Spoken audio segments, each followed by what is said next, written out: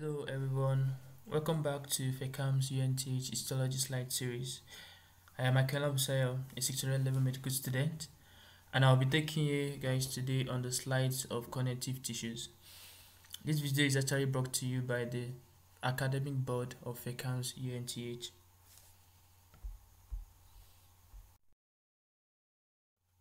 We are going to start with the slide of the adipose tissue.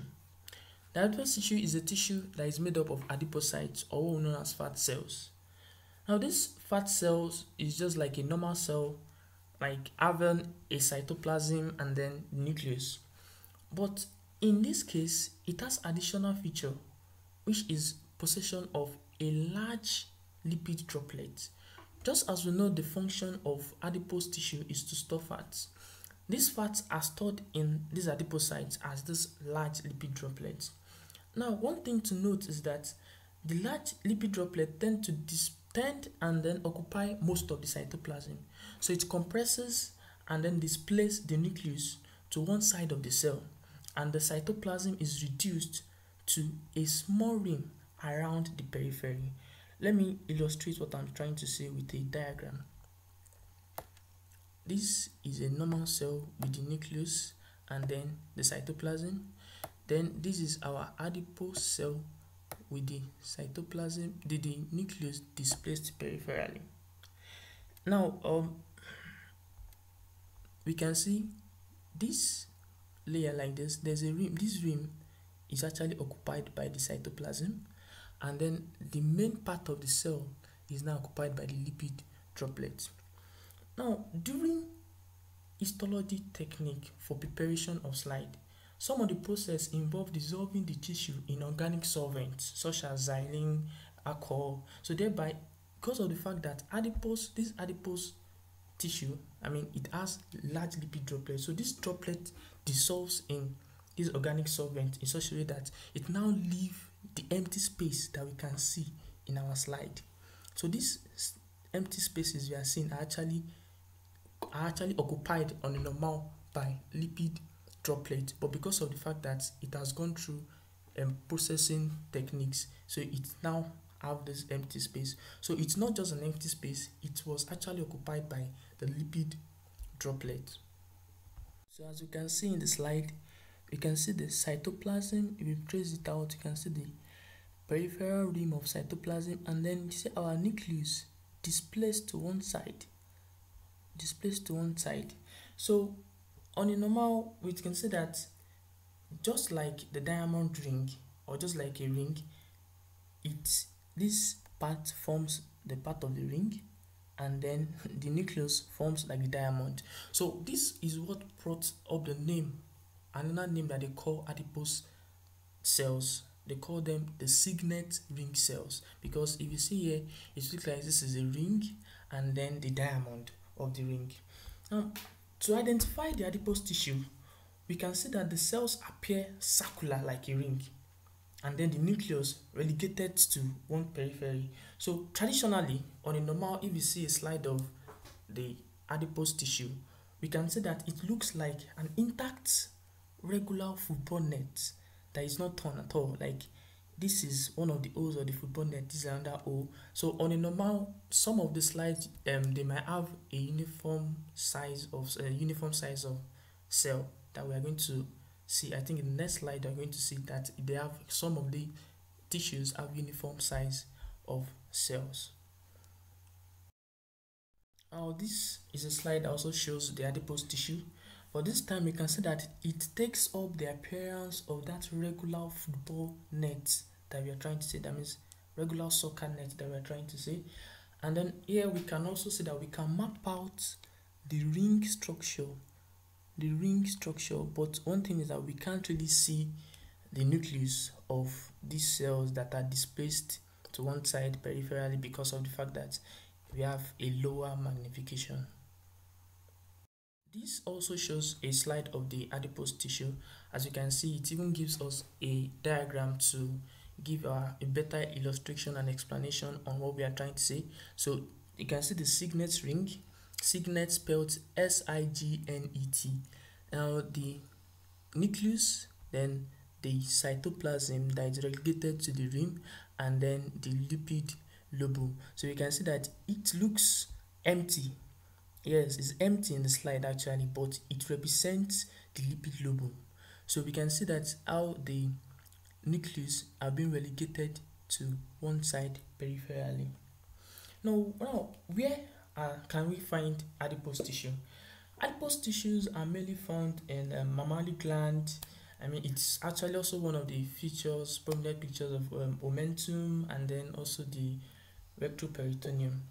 Now, if you are to, uh, if you are asked about the reasons for identification of um, of the adipose tissue, you can tell them that because of the presence of a signet ring cell, you can even add more by telling them um, presence of if we are asked for more presence of fat droplets in the cells, presence of a peripheral rim of cytoplasm is also a reason for identification and then presence of a peripherally displaced nucleus is also a good reason for identification. This is also another slide showing the adipose tissue but this time it is showing the adipose tissue interspersed by some other connective tissues. So we can see that here we have connective tissues. Now but we can when we see this slide we look through we see that we have some pack of cells that looks like a net a football net here i mean circular regularly circular can see it here also yeah you can also see some here so this kind of give away okay that this we are dealing with adipose tissue this is the slide of the loose areolar connective tissue now let's talk about connective tissue in brief Connective tissues are actually made up of extracellular matrix and the support cells. Also, I mean, most of these support cells are actually fibroblasts. Now, the extracellular matrix is a combined mix of fibers such as collagen and then the ground substance. Now, the fibers in the extracellular matrix are actually seen as the pink stained materials you can see here. These pink stained materials represents the fibers while the grass substance are the unstained parts that are seen as the pale spaces between the pink stained fibers. Now the cells of the connective tissues I mean, uh, they are mainly identified by their nuclei. As we can see here, they are mainly identified by their nuclei. And these cells are, as I said, they are mainly fibroblasts.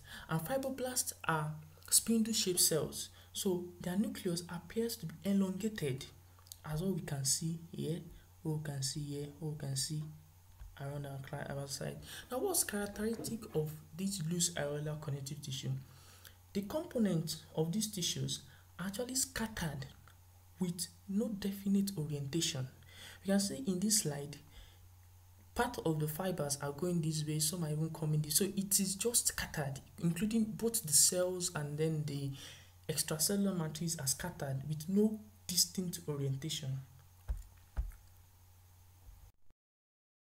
This is also another slide of the loose areolar connective tissue, but this time with a low magnification.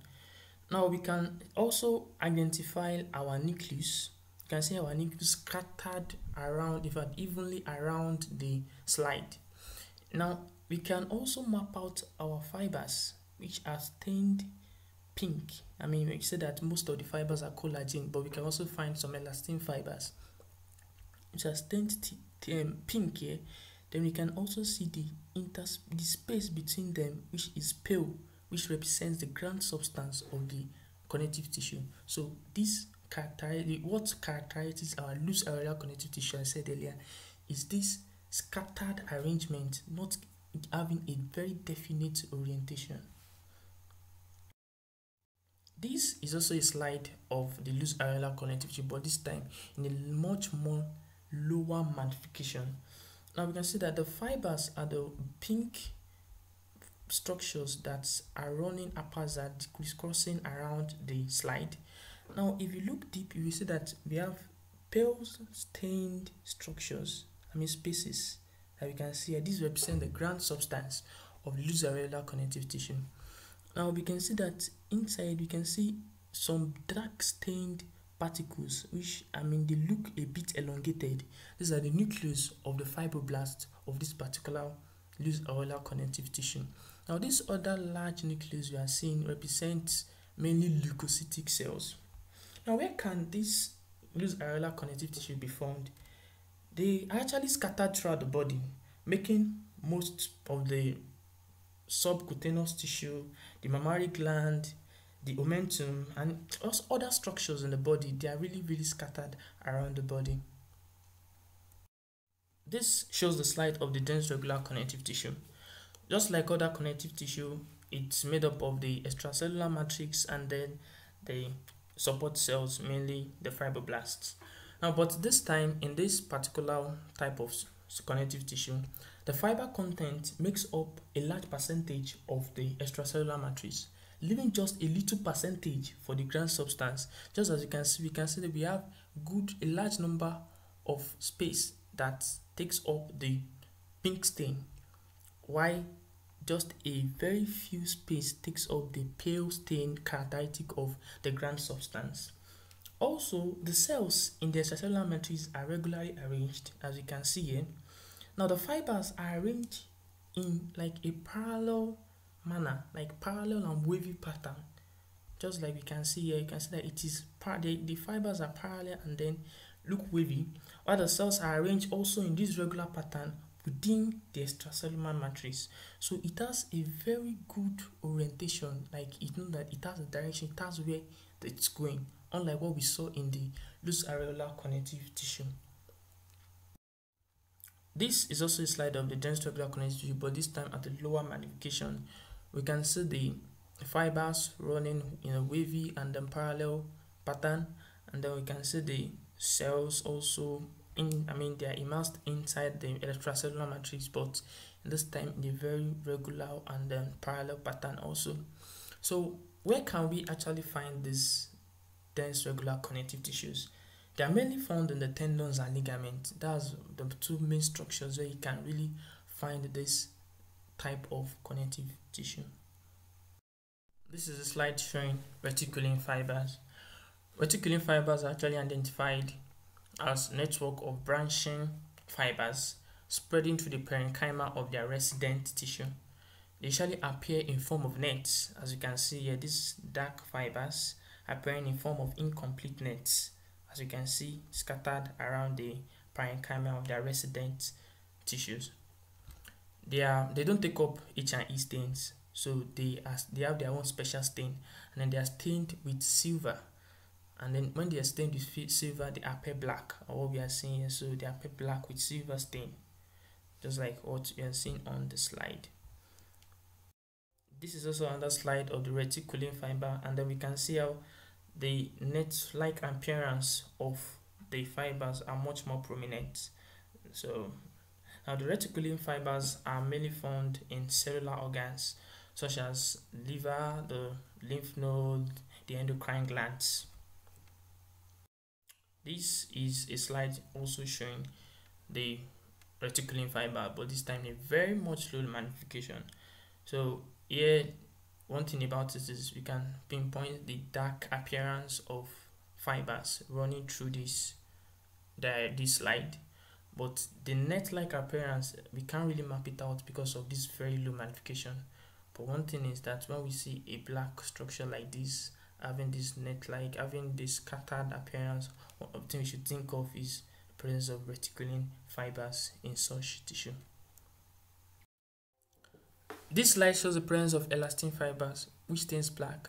This is to show you that not only reticulin fiber stains black but also elastin fiber. But this time it's a different stain.